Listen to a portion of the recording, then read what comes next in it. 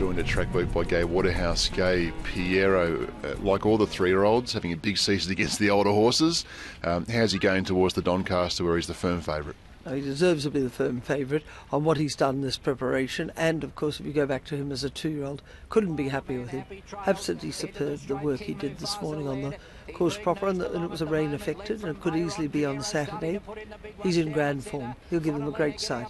He's such a good colt. He, he goes from strength to strength, and there's no reason in your eyes he's taking a backward step. He's going forward all the time. Always, or going forward. Really exciting horse.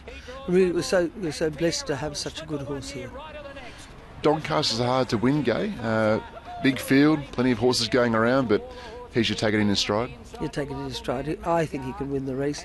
He's a dominant horse in uh, Australia. He's going super. He's beaten his rivals at weight for age. He goes back to handicap. Uh, I've had a number of, won a number of Doncasters and with three-year-olds, and I've won a number of Epsoms, similar type race over the same distance.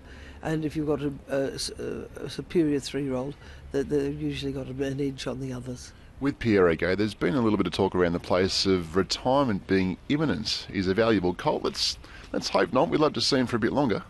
Well, look, you know, there's a lot of money involved, and uh, he, you know, they would like to have him either racing or standing at stud. Uh, that's for uh, Greg Kolovos and, and uh, the people to work out. But he'll certainly be at the Doncaster. We'll be able to see him. Okay. Let's touch on the two-year-olds, Gai, the Keith Mackay and the Fernhill. Firstly, the Keith Mackay.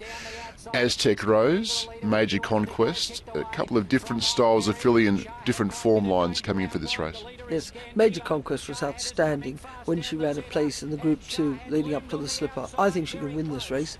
Aztec Rose is the most lovely filly. It's run some very good races, and she'll run she'll run well again. I've got her in two races, and I'll just uh, see today which race suits her best. And you've nommed Hydro for the Fernhill. He's a pretty promising colt up to the mile. I thought would suit him down to the ground, the 1600 metres. I thought his runs had been excellent between his win and his run even the other day. You know, he was just back about fifth and didn't seem to quite get into his rhythm properly. But, it, you know, if he, he's out there and he's up on the speed, you'd think he'd be very hard to beat.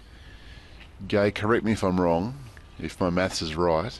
You've won seven Doncasters. I believe you're famous father has won seven as well. What would it mean to you personally to make it eight and just go one ahead? Oh, well, I'm not trying to make Dad's record.